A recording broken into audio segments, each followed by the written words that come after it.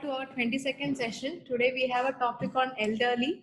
So we can start with ma'am's presentation. We can have it. Will you be putting up the slides or uh, shall I start? Uh, ma'am, can you hear me? Hello? Hello, Dr. Sheethal, can you hear us?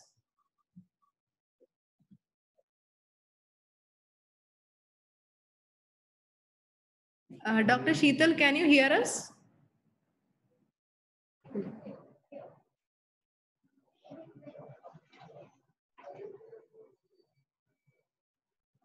One minute. It's working.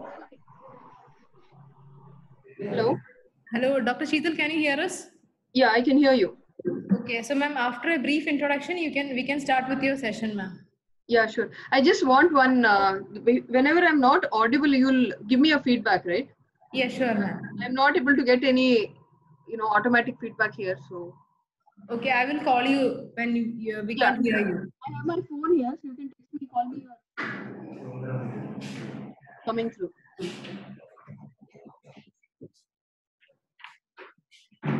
So hello all. So we can start with ma'am's presentation. We can have it for around 40 to 45 minutes, followed by 15 minutes of discussion.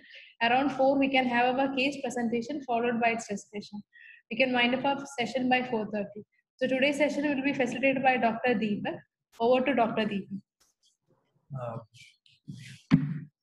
Good afternoon, everybody. Uh, so today we have with us uh, Dr. Sheethal, who is an associate professor in Department of Medicine, KMC Mangalore, and uh, Dr. Sheethal has a uh, MD in internal medicine and a, and a postgraduate diploma in geriatric medicine, and she is the, currently the program director of, uh, of the Fellowship of Geriatric Medicine. We also have with us, um, and we would like to welcome Ms. Mariela D'Souza, who's a senior faculty in psychiatric social work, uh, and uh, Ms. Suchita Rao, who's a, trainee in, uh, in her Masters of Physiotherapy, who's specializing in geriatric physiotherapy. So uh, we will welcome you all to this echo, and uh, with you.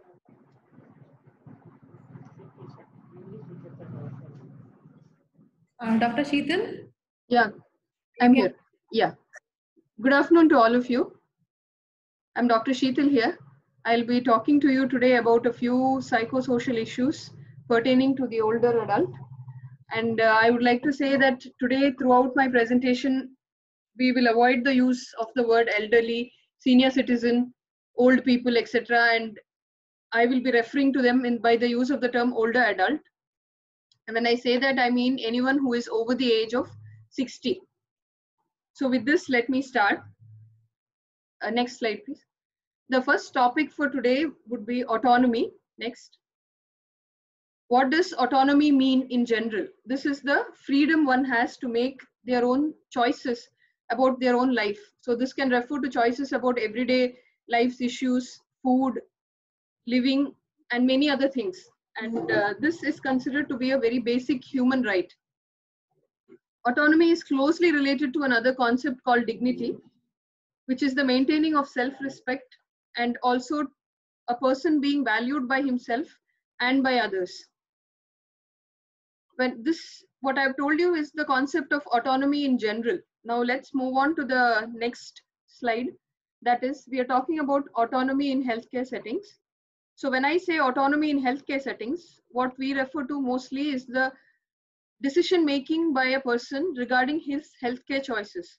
So when a person presents to the hospital or the healthcare system in any way, he would have to make choices regarding the doctor, the treatment, the way in which his treatment should be executed, and given the wide variety of treatments available to a person, these are decisions that the patient would every day make for himself. Now, in a younger person, this autonomy is usually unchallenged. And for a physician, for a nurse, for any other healthcare person working in a hospital, this autonomy in healthcare settings is considered the cornerstone of our professional duty. We always look to fulfill these wishes in any patient. But when this is a younger patient, this becomes easy and automatic. Whereas when we are talking about older adults, when they present to a hospital, when they are required to undergo various treatments, here autonomy is often threatened. It is seen that they are very easily disempowered. They lose their choices and this mostly occurs due to stereotyping. The patients around them, the caregivers, the staff in the hospital tend to generalize and assume that the patient choices are sometimes handed over to a caregiver or to a nearby person. Now, what this results is in often a lack of regard for their privacy and a general insensitivity by the hospital staff. So often when we are in a hospital and we are dealing with an older person or we are in the community and you're talking about healthcare issues in an older person, we end up talking not to the person himself or herself and rather than to the patient's family. So there is often a imbalance of power between the patient and his caregivers. Next. slide. So what we see here is these older adults are just wait. No? Yeah. The older adults that we see are often vulnerable. They may not understand entirely the instructions told to them, the implications of their disease, etc. They are also often disabled. They may not be able to do it themselves. They may need somebody's help to get up, to move around, or to even speak. Their speech capacities, etc., may also be disabled. So this puts them at a disadvantage. And if you look at the carers, they sometimes are required only to execute the decisions of these older people, meaning they need to just find out what they want and do it for them. Instead, we often see that the family members take it upon themselves to decide also what these people want. So when these decisions are taken over by everybody around them, this results in a loss of autonomy. Another concept I have written there, if you can see, is task focused care. So if you see a lot of patients are bedridden, sometimes for days, weeks, or years.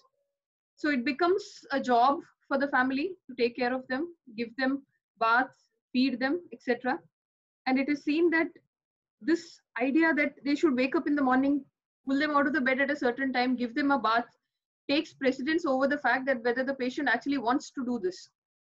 Now, if you see in your everyday life, nobody will actually force you to do it. You probably do it yourself. Basic activities are determined by our own self will. But when a person is older, it is often the environment around him that takes these decisions.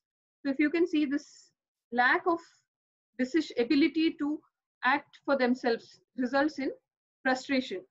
Just next. They are unable to control their environment and their living arrangements. And this may also have dangerous implications for them. The patient and the caregiver might not be having a positive relationship. There may be anger issues, conflicts, and often these play in the form of negative results for the older adult. They may end up being abused by this caregiver or by the healthcare staff or the staff of an old age home wherever they are being taken care of. Next. If we look at this decision making autonomy itself, this is what everyone needs to take their own, make their own choices. It's made up of two components. One is the ability to make a certain choice. And second is the ability to act on those choices. That is, carry out that choice or even express their choice. Tell somebody that this is what I want. Now, if you see, next, you will see that this ability to act on the choice and express these choices are sometimes impaired as you grow older. Now I'm talking about even a normal, healthy older adult as they grow older may find it difficult to express themselves. They may have some degree of impairment in memory, a slowness in their mobility, understanding, because of which they may not be able to do it themselves. But what we need to remember is the making of the choice is something they always can do. They can always decide what they want. They may not on their own be able to carry it out though. So this brings me to another end of what I call the needs of an older person. We, it's assumed several times that when a person is older, they are unable to think clearly. The extreme form of this is what we see as dementia. So in the next slide, I will look at autonomy in dementia. So what do we understand by this? What do patients feel when they have been diagnosed with dementia? Next. Next, yeah. So there is something called a tragedy discourse. tragedy discourse meaning whenever somebody has been told to have dementia, they are told they have a memory deficit. The whole world treats them like there is a huge calamity that has befallen them or their family in that and an appearance of pity on them. So here I'm putting in some of the words told by patients in a study. There were about 300 patients who were interviewed to ask them about their experiences due to loss of memory, due to dementia, what were the fears they had, what was good and what was difficult about their life once a diagnosis of dementia was made. And if you see, most of the responses were like this. I have picked up two. It says, My doctor just kind of let me go because he was of the belief that there was no treatment. He just kind of cut me loose. You have dementia and there's nothing that can be done. It's a progressive illness. Goodbye. Another patient said, When I came down with Alzheimer's, my friends weren't my friends anymore. They don't come to talk to me or just to be with me. And I'm sure those of you who are working with older people would have seen this or sometimes probably been part of this tragedy discourse in that you might have even responded similarly to people who were older. So in the next slide, I have put in a definition. This is actually a slide I take for our MBBS students when I explain to them what is dementia. So there's a common knowledge that if I say the word dementia, everybody understands that there is loss of memory. They are unable to remember recent things. They tend to forget people, names, and events. But what we need to know is that in dementia, patient also has a difficulty in language, a difficulty in what is known neurologically as visuospatial function. If they walk into a room at night or a day, they think it's the bathroom and they may pass urine. It might actually be the living room. It may be socially inappropriate. Concentration and attention. They may not be able to listen to you continuously. So these are the uh, deficits that make dementia painful and difficult to live. So it's not just a loss of memory. So with this understanding, if you look at dementia, I would like to go to a certain question. You go to the next slide, please. I would like for all of you to ask yourself this question. How old would you be today if you didn't know how old you were? I don't know if I can get replies in this uh, seminar, but any answers from anybody who would tell me their current age and the answer to this question as well. Uh, sure, ma'am. We can have a couple of answers. Is anybody? Pranav, sir? Yeah. Uh, I am uh, just two months left to be completed 73 years of old now. Uh, so I am that much old, not old, but uh, to be 73 years. I didn't hear that. What would be sir's age and what would he call, consider his own age to be if he didn't know that number? What would he? Uh,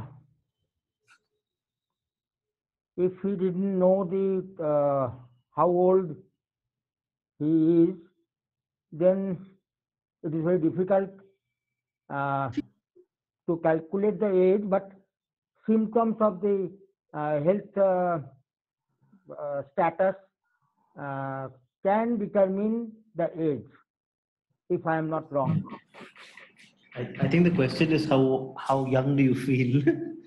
Oh, how young I feel. I, I feel young still.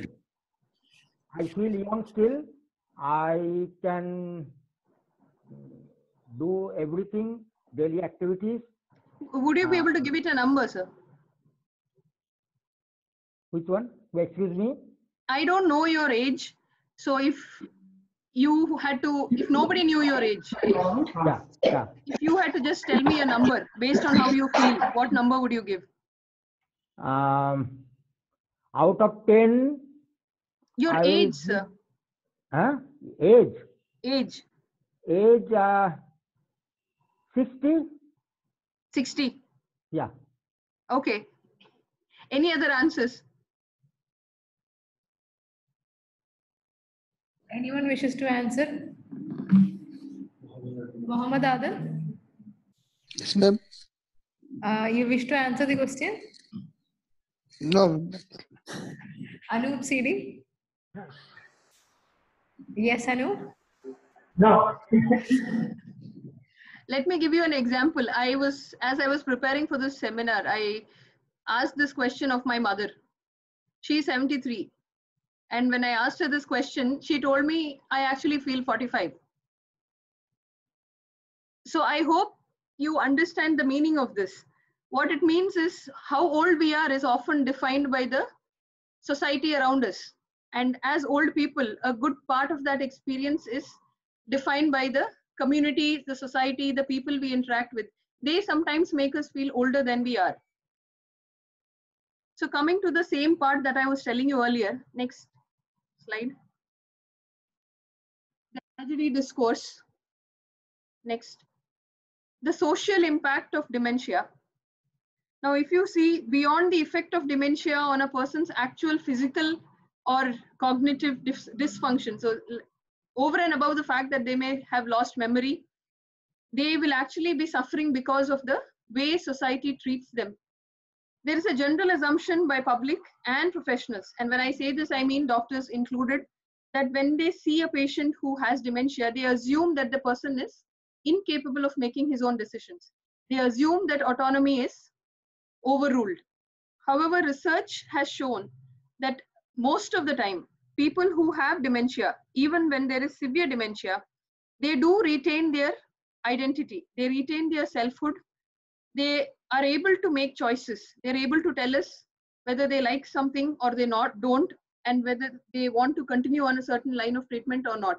So it requires us to have a very close communication skills and understanding of the patient to be able to elicit these choices. So how can we safeguard autonomy in these older adults? The first or probably the most important factor would be the transformation of communities to better support older people. Now, if you see in communities and societies where old people are respected and supported, they often are not, they don't feel old. They don't feel the negative facts of aging. We need to also focus on the person and his and her retained abilities instead of telling us what the thinking about what the patient does not have we need to start focusing on what the patient has what are the abilities they still retain another point is in education and training of healthcare professionals it is seen that when a given hospital staff nurses or people in a training community in a uh, care system are trained they often treat these old people much better so training and education and awareness has a long way to go in safeguarding autonomy in older adults. The last part is the inclusion and engagement of older people in all healthcare decisions. We should, as a policy, make it a point to engage them, involve them, explore their choices, and keep it into account whenever we decide or try to make decisions for them we would always like to look at what is it that they would have liked to have said. If they are not able to say it, we should still be able to engage them and keep them involved. So when I talk about this, uh, a last word on what autonomy entails for everybody. Next. So autonomy is a basic fundamental right and a critical element of a human's internalized well-being. It never leaves a person, even if a person faces challenges in expressing it due to dementia. So remember that if someone is unable to express it, doesn't mean that they don't have a choice. This takes us to the next topic on how are we to engage these people as they are not, they may not, they may appear to not know what their choices are. So this brings up to a, us to a concept called shared decision making. Now this has been defined as a collaborative process which allows patients and providers. When I say providers, it includes the entire healthcare system, doctors, nurses, social workers, physiotherapists, the entire team to make these healthcare decisions, taking into account the best available scientific evidence on one side and the patient's values and preferences on the other side. Next. So we, the carers, the clinicians, and the older adults sit together and make these decisions. These are especially, next, important in conditions of multiple chronic illnesses. Now, what we see in older adults is that over the age of 60, very commonly patients have one or more diseases. You hardly ever see a person above 60 who does not have a disease. They usually have at least diabetes, hypertension, some knee pain, cardiac disease. In addition, maybe the presenting complaint that they came to you with. So this chronic illnesses is one place where decision making becomes difficult. Another point, when effectiveness of future treatment is uncertain. I had a patient two weeks back who had a presented with a head and neck malignancy. He was also a case of advanced liver failure. So the decision involved, do we treat the malignancy? Does he require radiation therapy for the malignancy? Will he be able to tolerate it? The oncologist asked me, how long will the patient survive with the liver failure? So this is a situation where even if we treat, the patient might or might not survive. We as doctors are not clear. We cannot tell a patient a definite answer, yes, do this, you're going to get up and walk.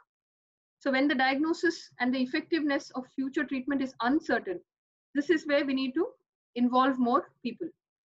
Again, when the decision-making capacity of the patient is compromised. So here we usually refer to patients with some degree of dementia.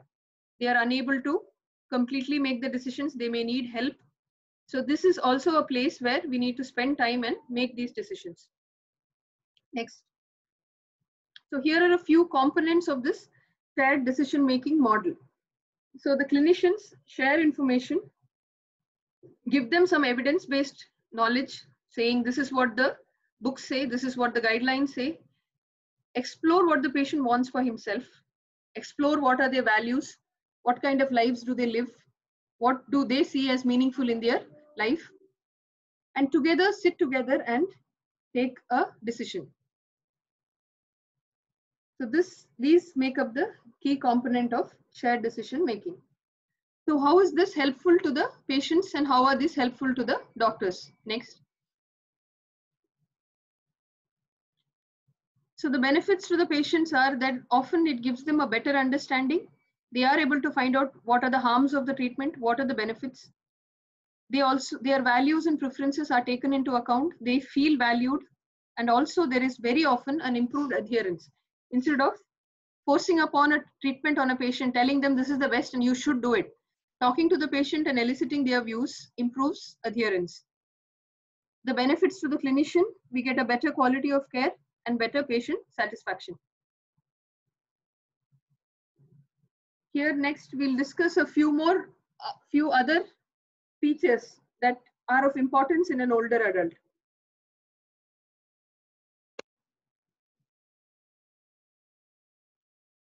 So the first topic, which I felt sort of sums up almost everything for an older adult, is the term loneliness. Now, loneliness usually results from two main elements called social isolation or psychological isolation. So what is this social isolation? It often results or most commonly does from a loss of spouse. It is said that for a for an adult or an older person, the closest social contacts are their spouses and their children. So if the spouse is lost, the children move away. This often results in significant loneliness. You may have heard of the term empty nest syndrome. Children grow up, move out of their house. It may be a positive thing, but to the older adult living at home, and if they are widowed, it results in a feeling of emptiness. To this is added additional features such as financial insecurity, sometimes a loss of social standing. They're no longer employed. A person who enjoyed social status and importance as a professional might no longer have it. And physical disability inability to move around on their own significantly adds to social isolation. They may not be able to visit friends, attend meetings, weddings, and social events because of their various problems. It could be disability, it could be something like urinary incontinence. They feel ashamed to move around. And over time, they have completely cut off from most of their social contacts. Next, coming on to psychological isolation. It's different from social isolation in that there's no actual absence of company. Patients are usually in the presence of family and others. However, they still feel isolated. Now, this points us to a fact most likely that we need to be alert as caregivers or healthcare providers to look at neglect.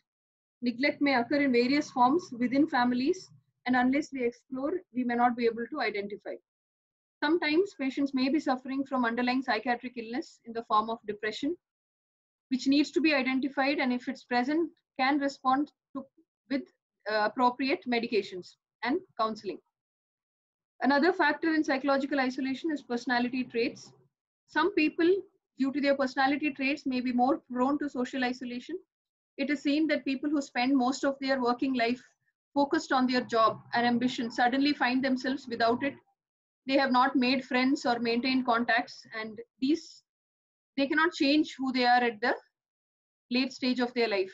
So these personality traits themselves may result in psychological isolation.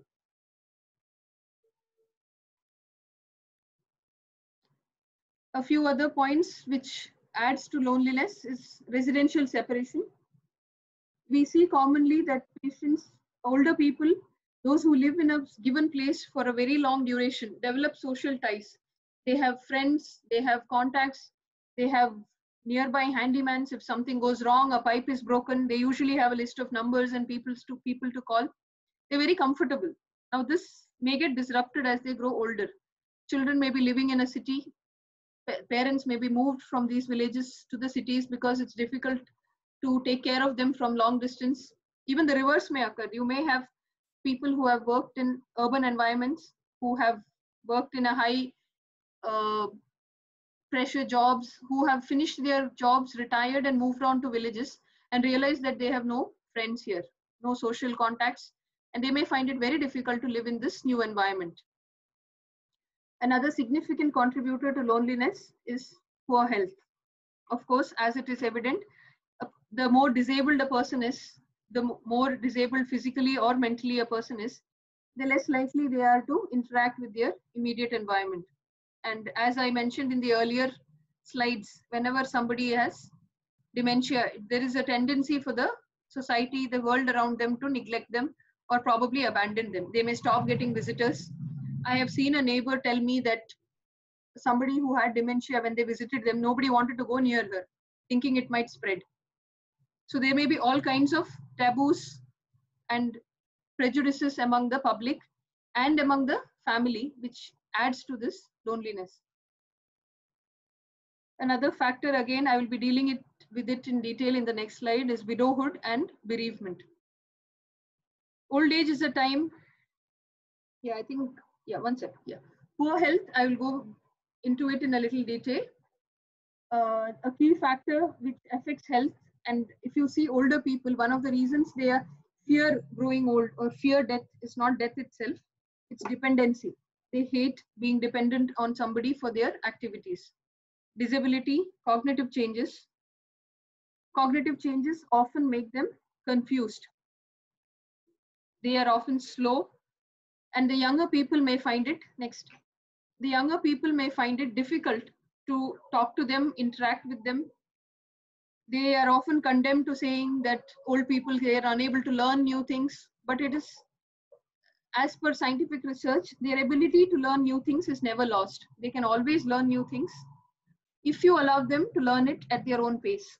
If you force things on them, they may not be able to keep up with you. But self-paced learning and rehearsing is known to show that they can learn any number of new things at any age. Next. Coming to widowhood and bereavement. The survivor, the person who often remains alive is the person who suffers the most. They are often confused, lonely, and may even progress into depression. They may feel the loss of a companion or friend, and in this, it's often women who are more affected. We still have in society this taboo against widows. It's often considered a social death for a woman. They are viewed as non entities in many places in India. They are, it's said they don't have any existence without a husband.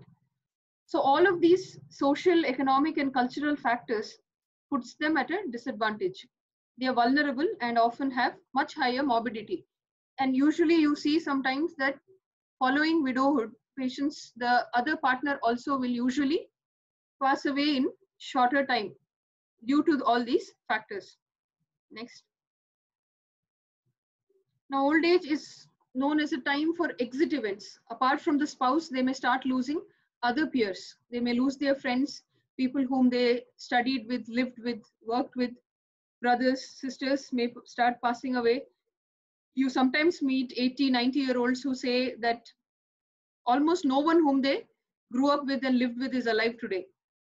We see sometimes people who are 90 telling they lost all their children as well. So this leads to a certain hopelessness and a loss of will to survive. They start thinking, why am I living? They see no purpose in life. And this often leads to some of them even considering suicide. And we should also remember that many of these patients may not be overtly sad. They may sometimes present or appear to be having anger, guilt because they are the only ones who survived, and sometimes even have increasing conflicts with the people that they live with. This could be seen in old age homes or within the family. Another factor is the loss of social status. Again, as I told earlier, loss of income, retirement, and moving away of young, children may sometimes lead them to feel like they have lost their social standing. Another factor is retirement. Suddenly, they have a lot of time on their hands in early stages, immediately after retirement, when health is good, most of these people may be able to manage their time. But as the years go by, as disability set in, structuring this time becomes extremely difficult. Staying active also becomes a very difficult task.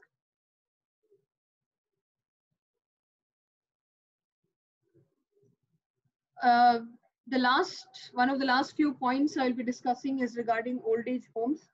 I have just put up a few issues which I feel are probably key factors. I would not say problems. They are all factors which exist in India, and we need to come together as a society to be able to tackle them. So, one of the key features which I have often faced is this neglect and abuse. This could be by an act of omission or commission, and there's often a culture of silence around it. And you see that in elder abuse, there's a culture of silence around it, whether they are in old age homes or whether in families, irrespective of other social factors. Older adults very rarely complain, very rarely complain against their children, very rarely complain against their caregivers. And sometimes they want to and can't, and sometimes they can't. The other factors, economic constraints. It is, if you see in the West, the culture of old age homes, institutionalization is well established. Most people once they grow old are assigned to different old age homes. They refer to them as nursing homes. But if you see the models that exist outside and they have started at least 20 to 30 years ago in the west and if you see the way they have progressed it's not a model for us to copy. It's not a model which we should look at and look to follow. Although it has its advantages simply economically speaking it is not sustainable to maintain people in old age homes. It often leads to the further problems such as lack of quality and all the other neglect and other problems that arise from these institutionalization. A key one of them is the restrictive regulations. They violate the autonomy in these of these older adults. If you have visited these homes, very often you see there is depersonalization, rigid schedules, the lack of physical activities, sometimes lack of medical facilities, even the lack of geriatric training among the people who are maintaining these facilities. Another common risk, probably it's present everywhere, but of acutely high uh, risk in India is the risk for tuberculosis. Most of these long-term homes are culture home, culture places where tuberculosis is exists in large numbers. Often goes unidentified and a person who comes from the community enters the old age home is at a very high risk of getting this. Other factors include depression. And I would say if you look at their expressions on the faces of people in these homes, often there is resignation, resignation to their fate. There is, of course, the lack of availability of enough old age homes. Their advantages remain that when a person cannot be taken care of at home for reasons of social factors, economic factors, if you would like to go to an old age home, there aren't enough available in India. There are few. Many of them are run by non-government organizations, charities. There is no audit, no regulation. Nobody knows what happens inside them. And there are experiences both positive and negative, but the lack of regulation, I would say, is a makes it a very dangerous factor. Next. So a few points on how people can cope with aging. Some of it has to do with their own personality. A person who is well adjusted as a young person often will adjust well even as they grow older. And you cannot attribute all problems to aging alone or to the society alone. Sometimes it is a person's personality. Social activities, they help definitely in coping with aging. Engaging in social activities, charities, volunteering work, etc. Engaging in roles within the family, within the community, taking up hobbies, yoga, etc. are some of the options that older people can consider. An important factor is age-friendly infrastructure. If you have spoken to any older adult with children living abroad, they often visit them during holidays, during the holidays for the children. When they come back and talk to you, there's one common refrain. They will tell you that, you know, I find it difficult to walk, I've climbed stairs, but when I was in US, I was comfortable. When I was in England, I was comfortable. So what is it that makes life comfortable for them? It is that most of these societies have age-friendly infrastructure. Their footpaths, their stairs, doors, toilets, they are all arranged in a way that makes it easier and possible for a person in a wheelchair to access it without asking the help of a second person. Now, this is what you would say is autonomy in its truest form. To be able to get up, go to a market, buy something on your own and walk back, despite the fact that you're disabled. Now, there is a big role for the infrastructure and the way in which our vehicles, public transport, etc., is designed in enabling this. Another factor is physical fitness. If you can see this year, Fit India movement has been launched.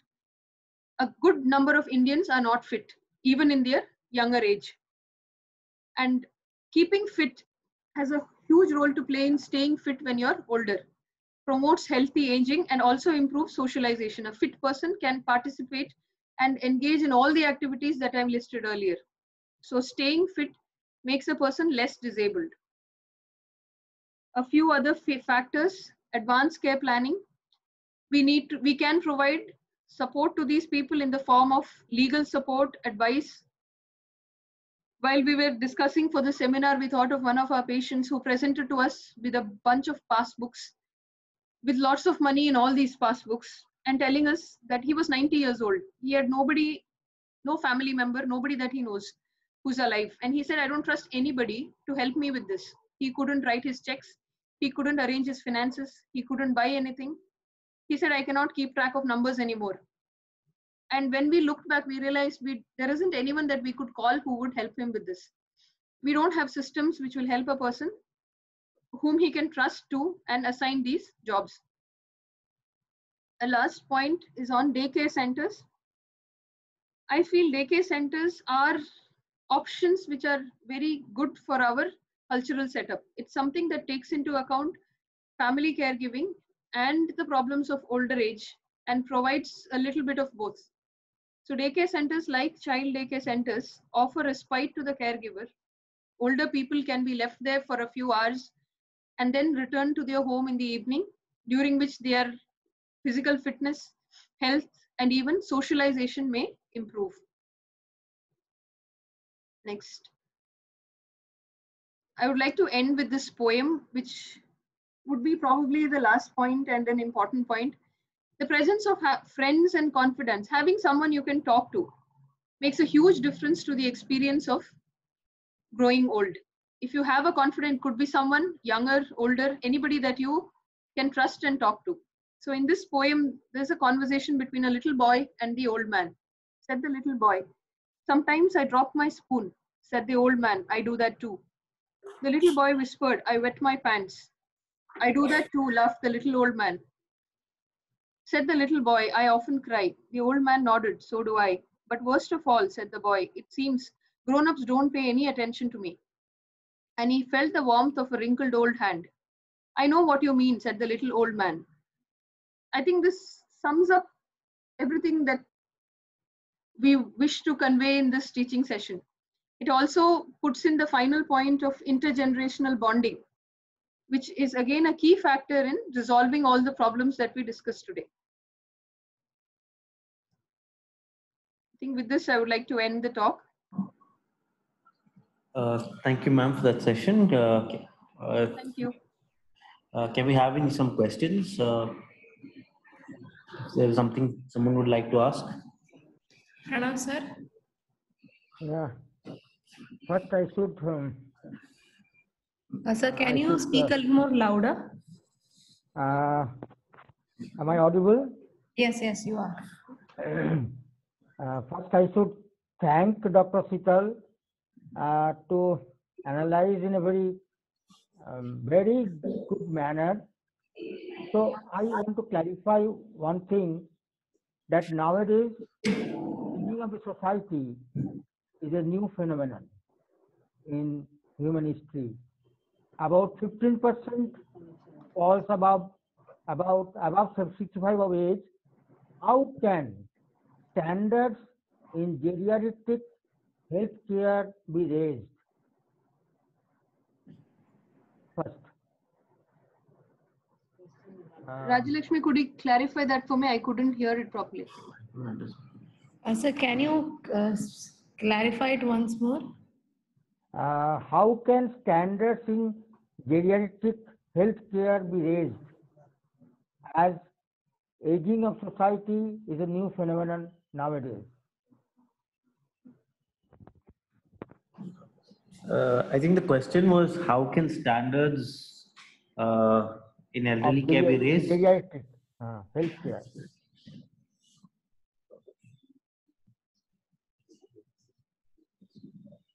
Ma'am, uh, Dr. Sheethal? Yeah. so, um, uh, Am I ma'am, ma'am, I understand the quest, uh, question to be uh, how can standards of care for the older adult be improved? Uh, is so is uh, How can we grade them? Can we? Shall I repeat? How can standards for care for older adult be improved? Yes. Yeah, can we raise that? Yeah. I, I would say, sir, the changes would involve multiple factors of care. So there is the society which needs to increase awareness. There is also the healthcare system in itself. Now, if you ask me as a doctor within a hospital, there are many things that can be done. Yeah.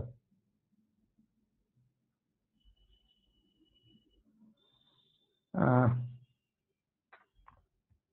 next, uh, next, uh, can I tell another sir. thing? Uh, what are the legal and ethical issues? What are the legal and ethical issues in healthcare policy for the older adults? The are the government has a national policy for older adults, which in concept has various factors which will cover all aspects of care. But if you see in practice, most of this is not being done. There are there is an initiative by the government to launch geriatric clinics in all district hospitals in India. Yeah. But at the ground level, most of this is not functioning. And I would say most older adults are being are being seen in various specialties rather than in specialized geriatric care centers. Another important factor is that uh, rather than training just doctors alone, Yeah. Uh, and what are the ethical issues should be maintained? Ethical issues should be maintained. Medical will ethics. change. so. So I think the ethical uh, issues what ma'am mentioned was maintaining autonomy. So I think that would be the the the the one factor that you would have to look at. Uh, uh, would have to look at uh, most importantly. Yeah. So can we Uh, have some? Uh, yeah. Anybody else would like to ask a question?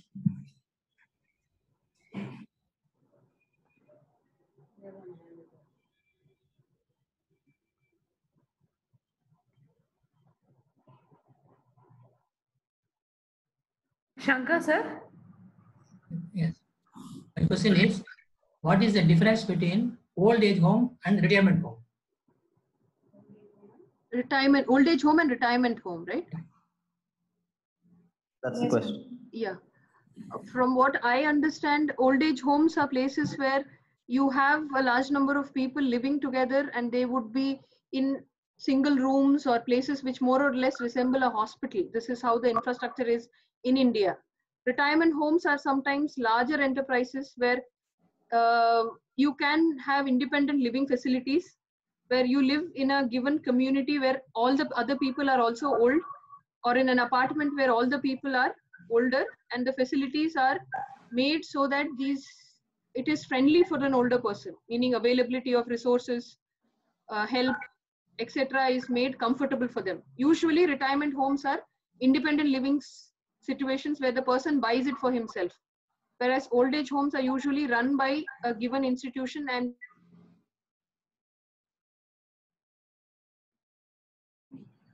Then, Are we clear on? uh, yeah, I'm clear. But thank you, doctor.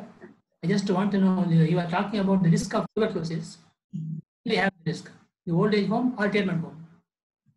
sorry sir i couldn't hear the next part See, we are talking about old age home and retirement home.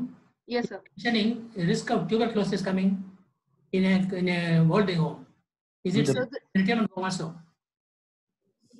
is it do- do- same uh, thing in retirement homes. Uh, the, I think the question is: Is the risk of contracting tuberculosis the same in a retirement home and old age home? So this, uh, yeah, this usually again comes down to the facilities that are available in a given place. As I told you, we don't have regulations. So if you would see places where people are placed close together, it like you would see in a general ward, if you have places where patients' beds are placed closer together with less ventilation, these are the places where tuberculosis is a high risk. So I think the thing with tuberculosis also it's it's to do with overcrowding. So if there's any place which has excessive overcrowding, that would again predispose to uh, to tuberculosis. So it's not specifically to old age home or this thing. It would be Retirement homes. this- yeah, it, it would be about the setting of the place basically. Thank you. Yeah, it usually comes down to the financial standing of the place. And there was another thing about shared decision making that was uh, that you brought out. So uh, it was talked about in terms of the person, the family, and the clinician.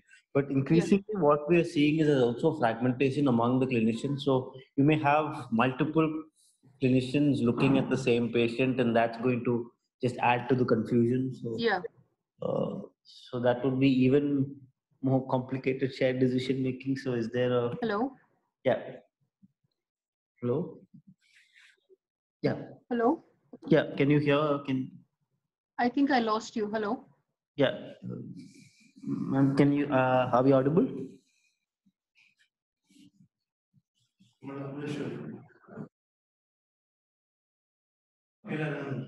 Dr. Sheethal?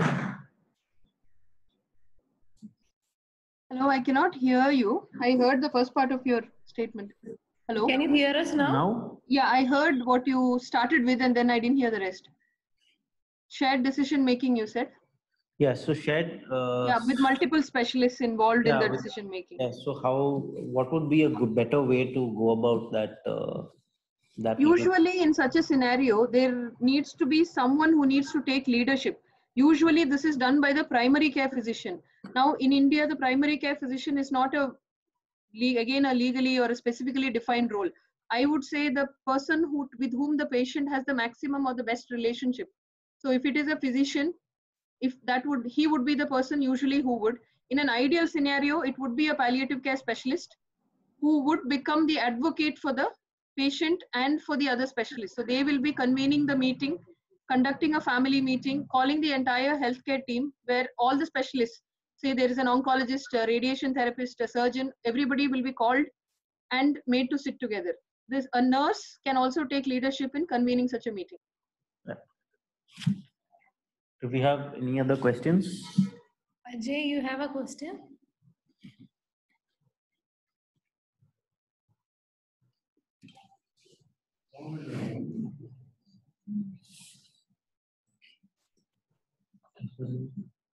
Any more questions? You can either raise your hands or unmute yourself and speak.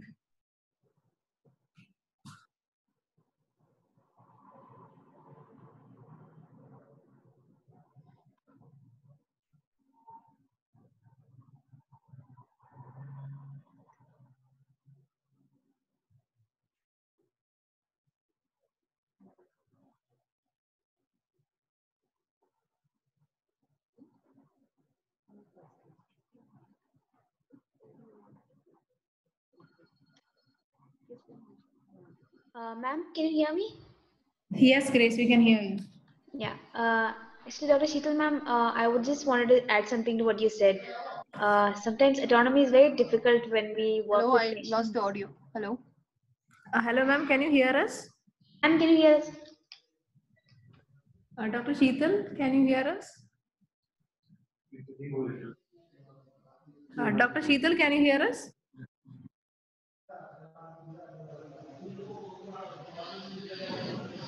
Uh, Grace, can we hold on for a second? Dr. Sheethal? Yeah. Sure. Uh, Dr. Sheethal, can you hear us? Yeah, I can hear you now. Okay, Grace, You you hear what she said though. Uh, Grace, would you like to repeat your question, please?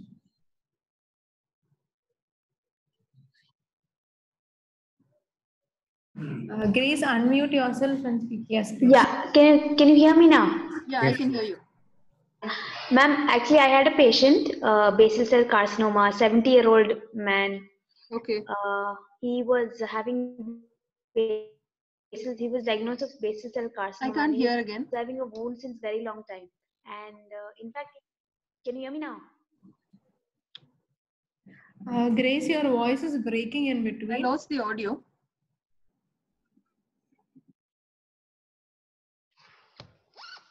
Can you hear me, ma'am? Uh, Dr. Sheethal?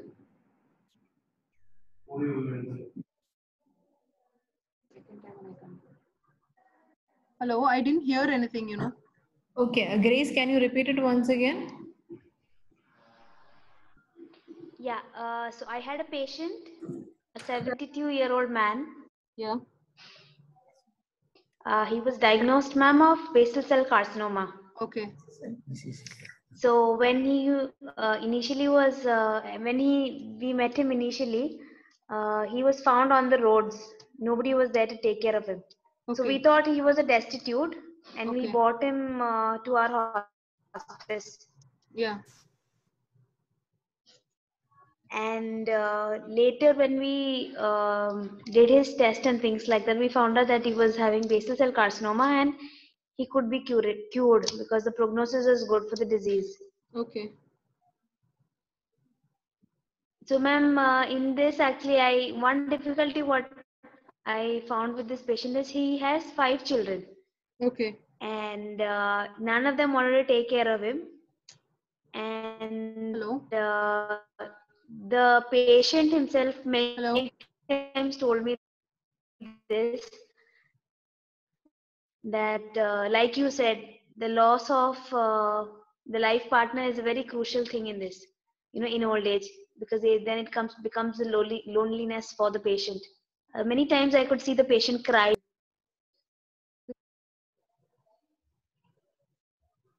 Grace, can you hear us? Yes, ma'am. Grace, I heard you up till uh, you said he had children, five children. But ma'am, they were not ready to keep him. I mean, they were not interested to keep him Okay. because he didn't have they, they, uh, the children's mother has passed away. Okay. So, uh, like you said in the lecture, Yeah. that uh, losing a life partner for the older patients, Yeah. older adults, no, uh, it really affects their uh, psychological and uh, social aspect.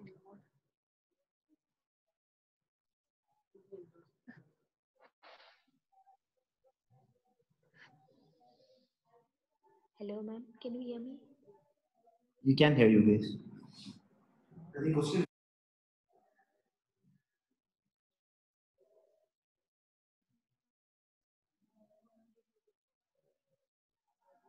Uh, Uh, Dr. Sheethal? Yeah, I didn't hear the last part of what she said. I got to where she said the children were not interested in keeping him and the audio is going off.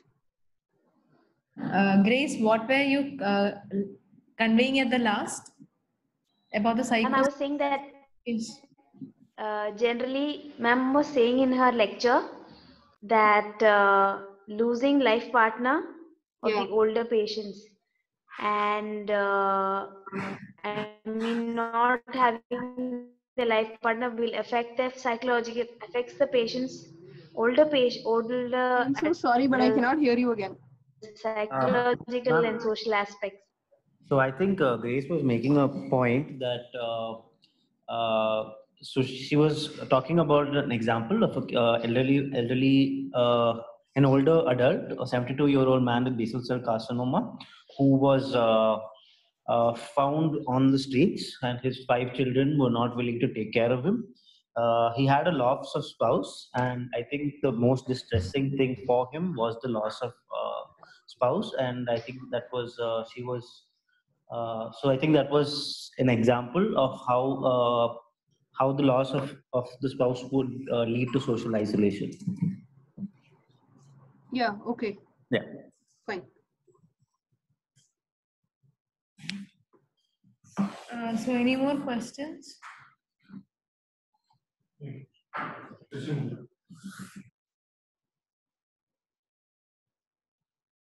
So I think if not, we can move on to our case presentation for today.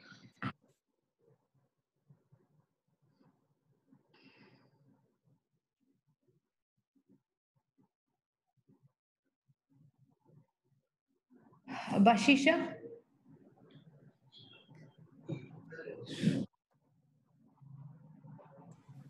Hello, ma'am. Yes, ma'am. You Uh, can. am I audible? yes, yes, you are. Okay, very good afternoon to you all. Uh, my name is Bashisha, and I'm a medical social worker uh, from uh, NEIGRIHMS Palliative Care. So today I will be presenting on the case of a 75, uh, 75 year old male with the diagnosis of CA prostate with chronic lymphocytic leukemia. His medications that uh, were given from our unit is a tablet PCM 650 mg TDS, serum mucin gel 1 TSF before meal, uh, Metron Gargle TDS, syrup diliters D, 2 TSF TDS, tablet amitriptyline 12.5 mghs, tablet Pantop 40 mg OD, nebulization with Duolin TDS, and tablet morphine 5 mg for hourly for pain.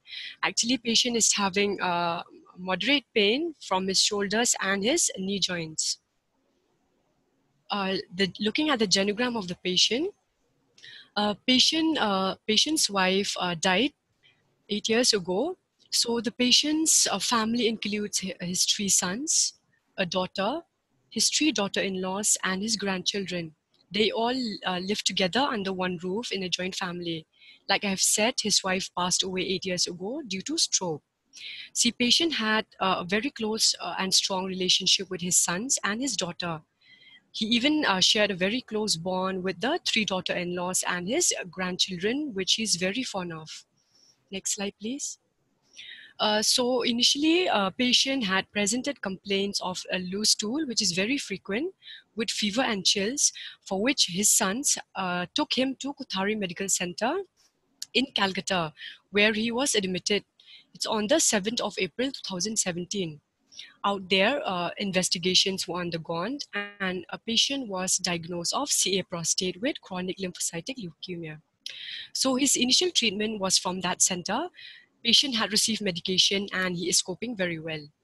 But at about a year later, he began to uh, his condition became to uh, be, uh, began to deteriorate, and he became weaker day by day.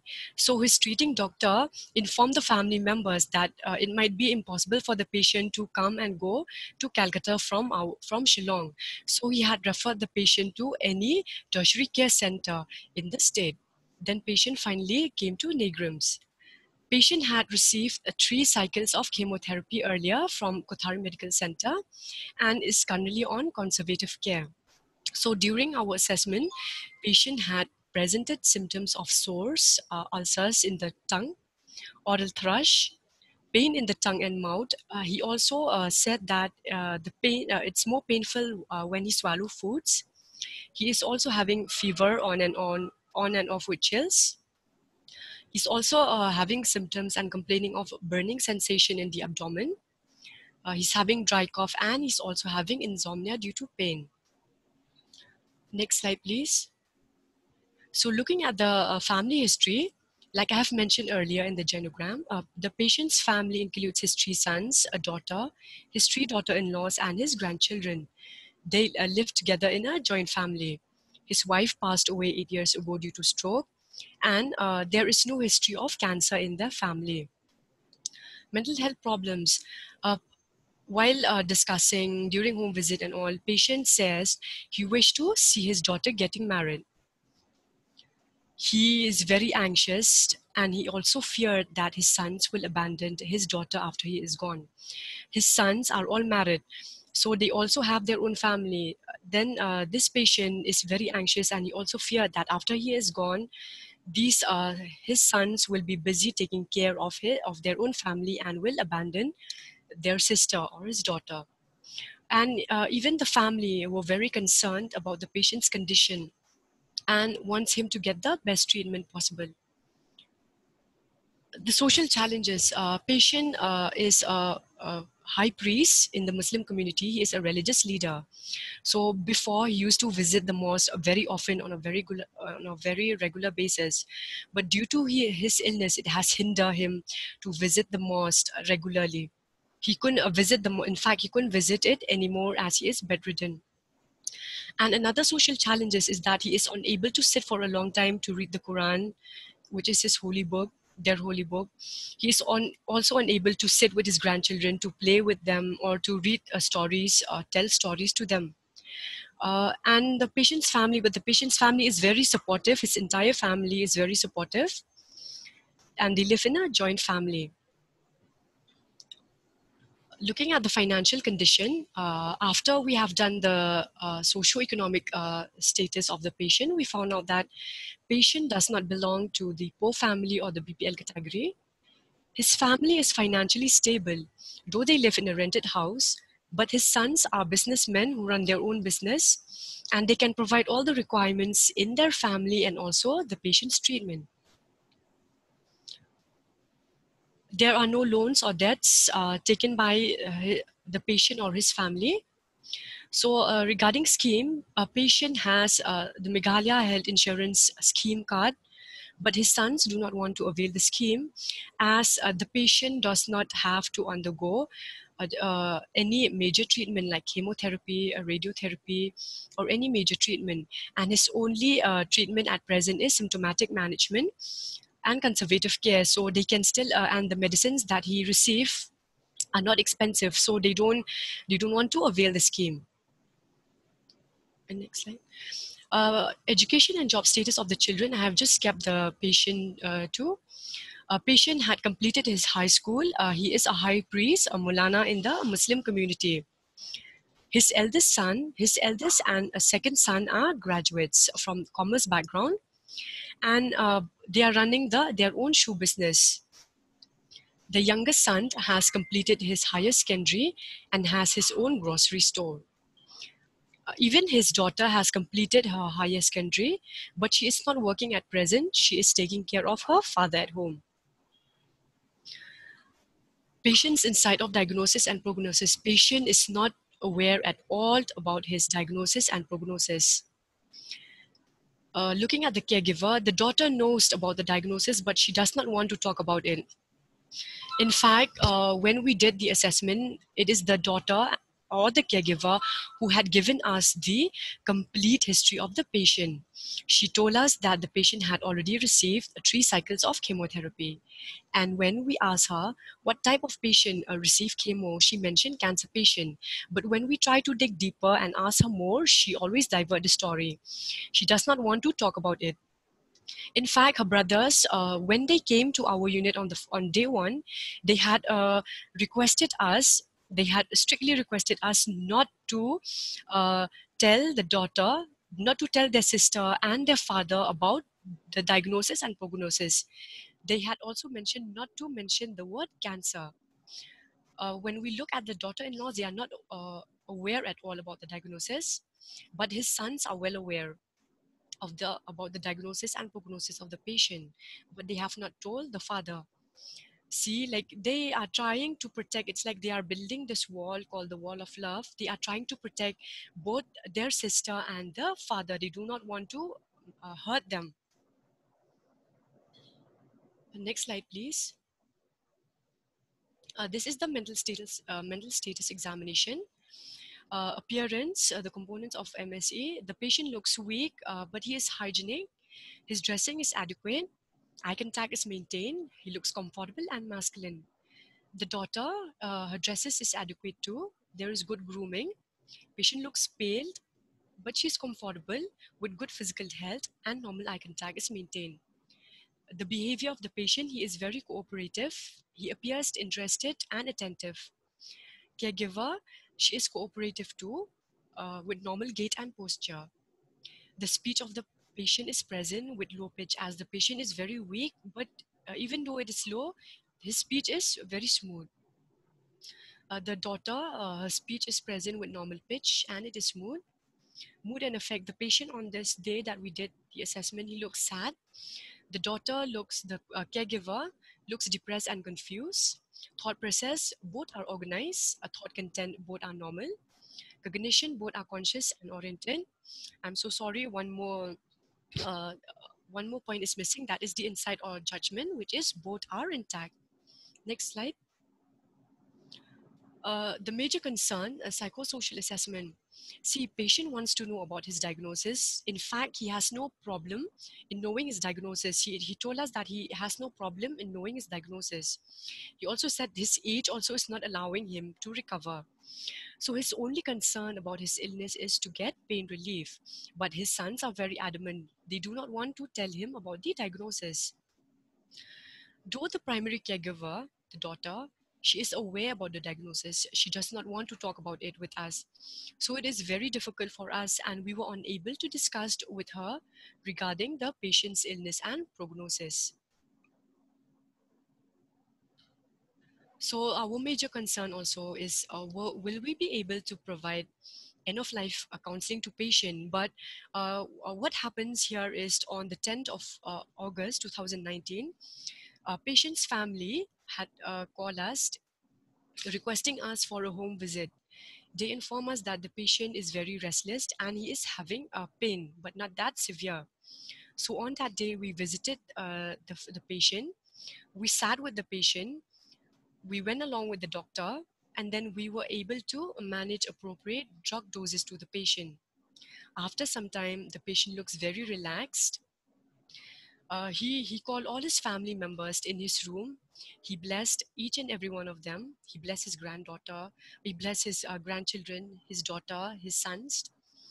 We could also witness that he took his eldest son's hand, make, uh, make him promise to take care of his daughter, in which he also received, he got that assurance from the eldest son that he will not abandon her no matter what then uh, he asked every one of us that like he told us that he is uh, very tired and he wants to rest for some time. We allow him we allow the patient to rest for a while. Then we were able to sit with the sons and the family. We were able to provide end of life counseling at that point of time. After some time our doctor went to check with the patient but the patient uh, never woke up. A patient uh, expired on that day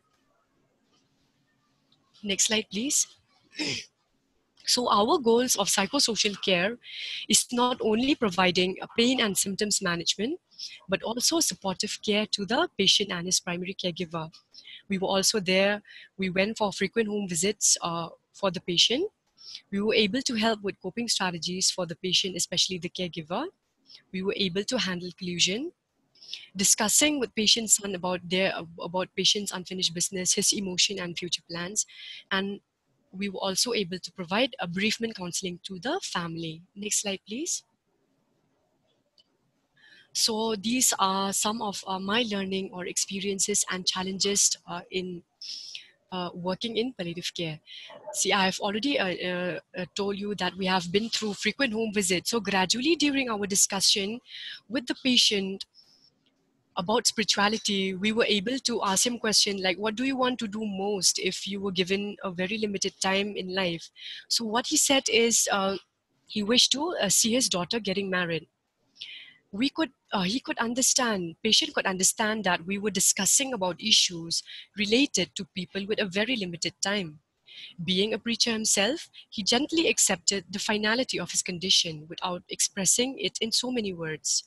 With his new understanding, his behavior changed. He became more relaxed, and once he realized that his death is near, though he is not in severe pain, nor he is suffering greatly, he called all his relatives and family and blessed and prayed for them. So this has truly inspired us what I could see also is family and carers, they carry a very significant burden in end of life care. We as a team, we were able to help the family through what is probably one of the most difficult times of anyone's life, that is watching someone they love die. And we were also able to coordinate the most appropriate care, which is very important at that point of time. We were there with the patient, the entire team, with our doctor. We sat right next to him. We were able to manage appropriate drug doses and we make sure we were able to make sure that he has the most pain-free and dignified death as possible. So one of the challenges is that communication with the patient and relatives can be very difficult, especially in cultures where family plays an important role in illness management and treatment decision making. So what uh, I want us to discuss here is like how do we handle collusion? The second question is why are the primary caregivers a primary caregiver? Why not the others? And how do we go about starting a discussion about the end of life to the elderly or the older adults patient?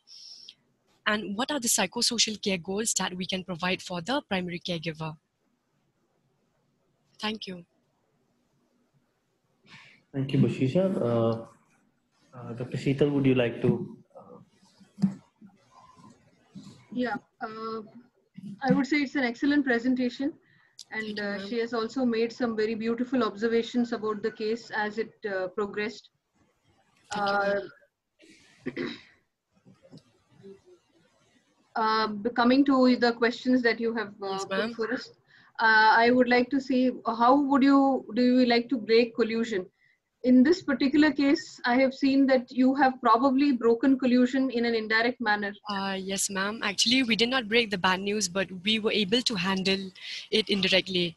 Yeah, I think uh, while we are in India, we see various kinds of cultures Yeah, where true. uh, people choose to talk differently about their uh, worries. And uh, as we read in Western books about breaking collusion and counseling, Yes, in this particular case, uh, it seems to me that despite them seem apparently having a what we call a culture of silence, Uh, they have yes, not ma'am. been openly discussing many things.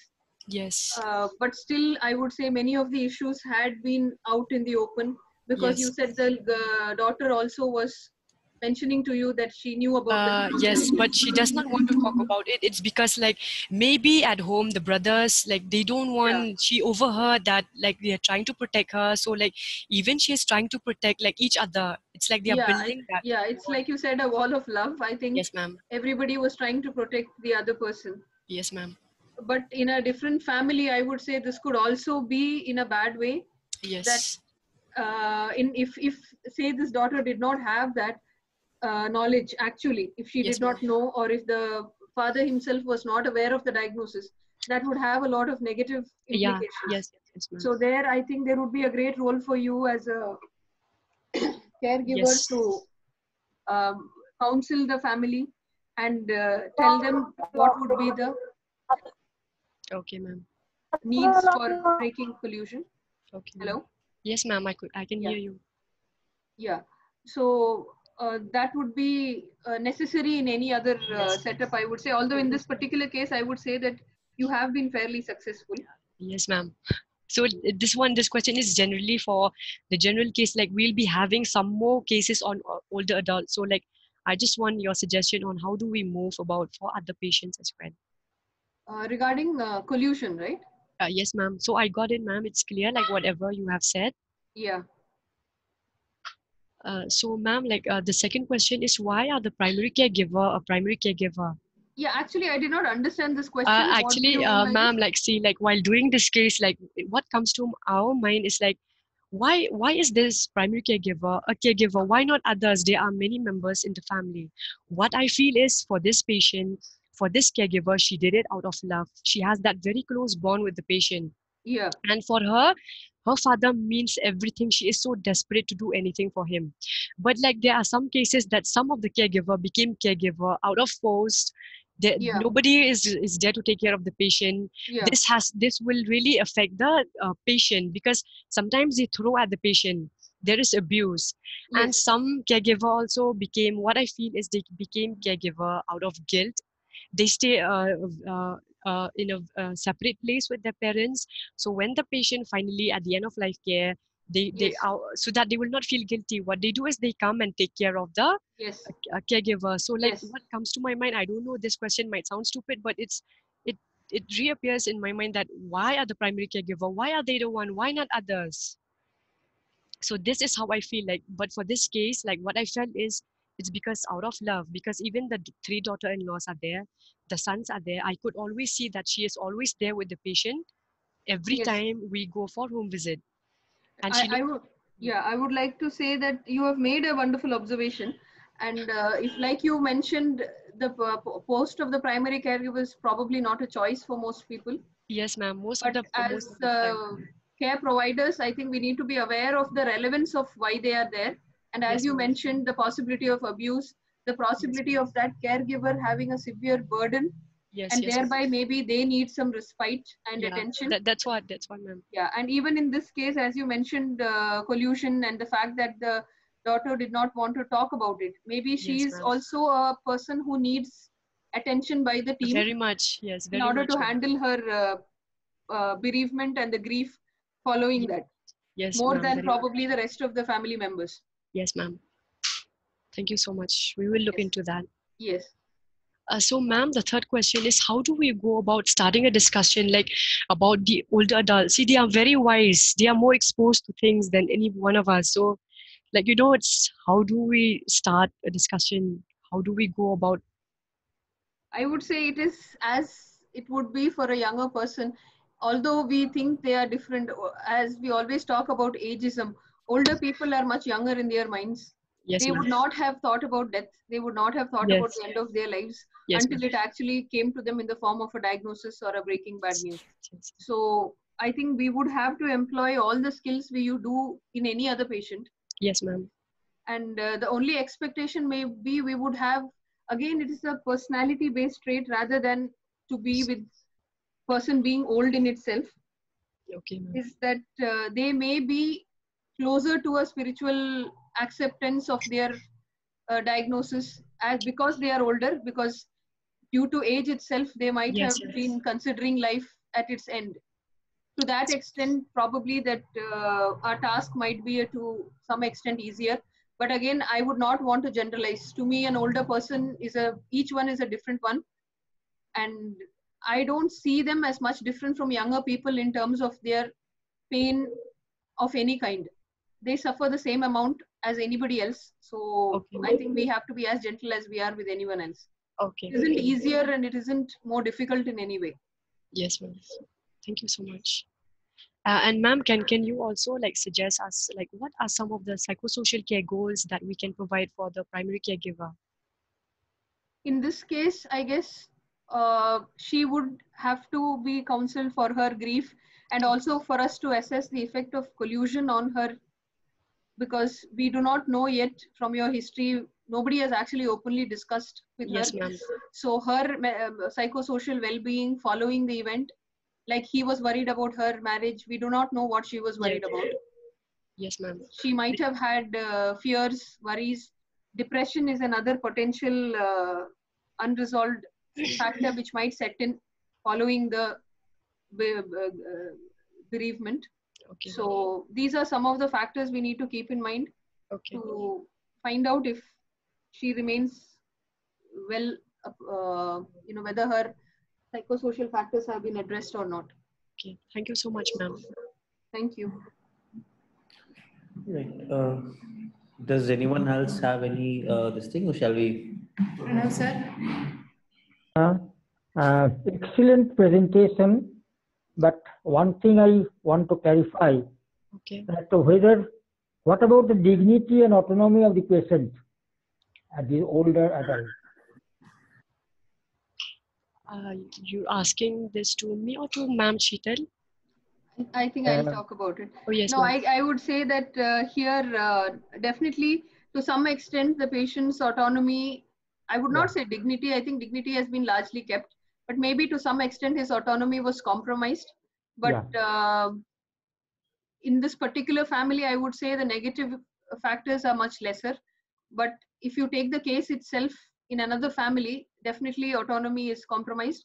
And I would say not just for the patient himself, also the daughter her autonomy here also seems to be severely compromised in that she's feels that she's not allowed to discuss her worries her grief publicly in her family so she has probably kept everything inside so as a provider i think it's up to us to address her concerns during or after the event and one other observation that i made about the case was probably that you said that he was a high priest and uh, he used to go to the mosque I have had similar patients who are extremely religious who find that they are not able to carry out these activities and they tell you that I, you know, I cannot go to the mosque now because I'm ill.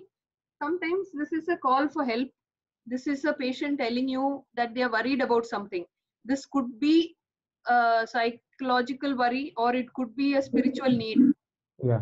I feel here his spiritual needs are also something which could have been addressed. He might Yeah. have had questions. A man who was probably, you know, a high priest would be someone who is doing God's job for us in this world. He would Yeah. feel whether he has been failed, he might be angry with God, or he might have accepted it. Although the end of the story suggested that he has blessed everybody, we don't know his relationship with his uh, idea of God, whether he was happy, unhappy, whether he had unresolved issues. So this is another area which I feel could have been explored a little more, maybe allowed him to talk and express himself, even if it is a positive or a negative view of life as he has known so far. He might change.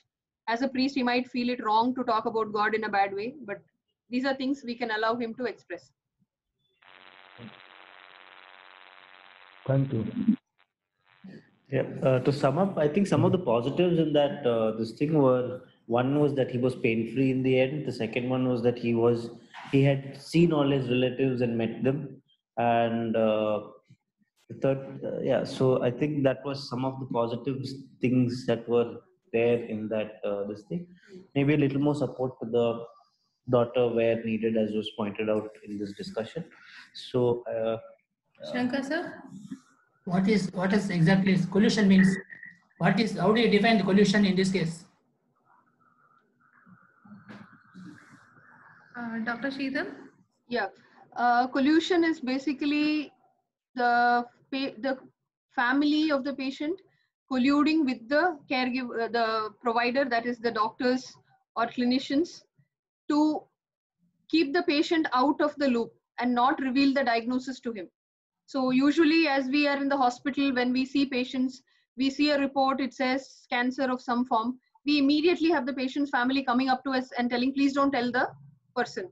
it could be the husband, the child, mother, whoever, they immediately tell us, don't tell the patient about the diagnosis. They may not be able to handle it. They may lose hope. So if you do that, that is called collusion. Thank you, doctor. Thank you. Thank you, sir. Anyone else wishes to raise a question or share your experience?